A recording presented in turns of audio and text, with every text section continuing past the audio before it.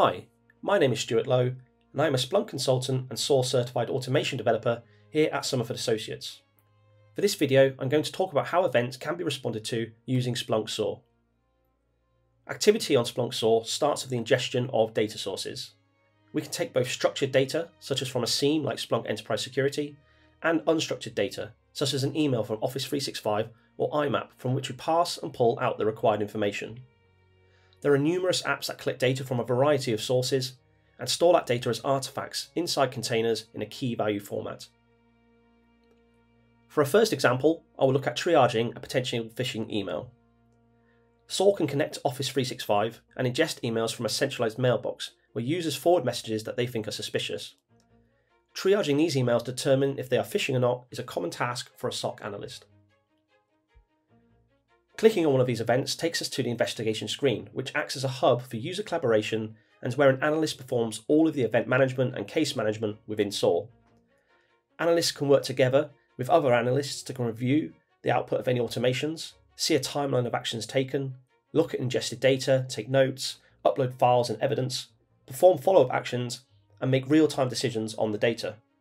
We can also promote this event to a case, which assigns a workbook to define a workflow to follow for resolution. If we navigate under the Artifacts tab, we can expand all of the individual artifacts and see the data ingested and can expand further to browse the key value pair structure of the data. It's also from here that we can take actions using any of the apps and configured assets we've elected to use on our system. If we click on any specific indicator of compromise, we can see a history that shows us where else it has been seen inside of the SOAR platform. This menu also gives us the ability to run actions against that data type. So in this case, we can select URL reputation from the menu of available actions to see if any configured assets have any insight into this particular URL. We will select VirusTotal to run this action, but we can potentially use other services too. Uh, for VirusTotal, we click Launch, and we can see the high-level results of the action on the left-hand side. And if we scroll down, we can see our widget in the section below the artifacts.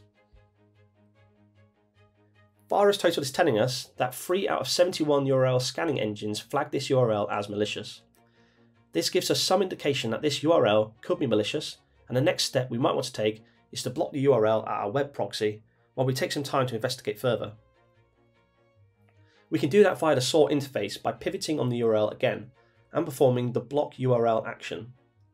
Because we only have one asset that we can run this action against, we click launch and execute the action against Zscaler in our environment.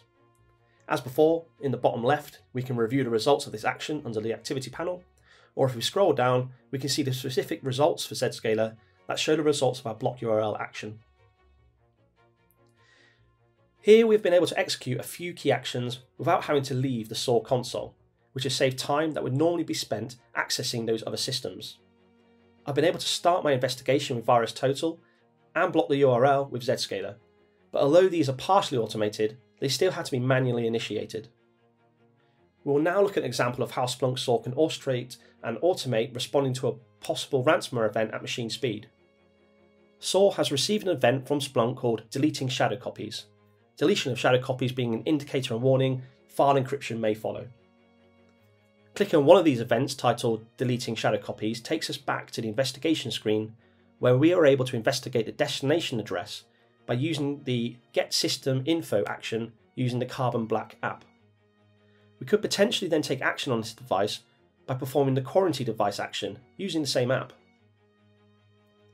There are a number of actions we might want to take to triage and possibly quarantine the device. However, this time we don't want them to be manually initiated. This is a playbook we would likely want to automatically trigger upon ingestion of this event. This is an example of a playbook that we might want to run for a detection of a process that is deleting shadow copies on a system. In addition to the path to the right, where we are getting the system information and potentially quarantining, we are performing numerous additional actions. For example, we are running three successive Splunk queries to find the parent processes that triggered this event. So returning to our event, we'll now run this playbook.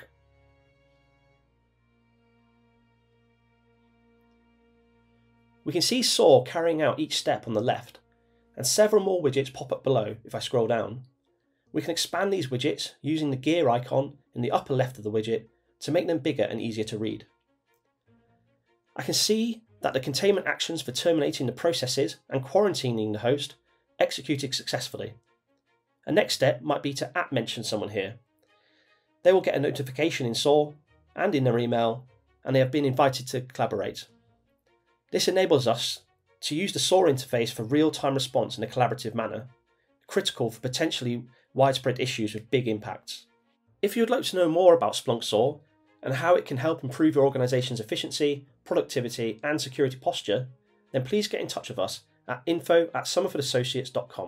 Thank you for watching.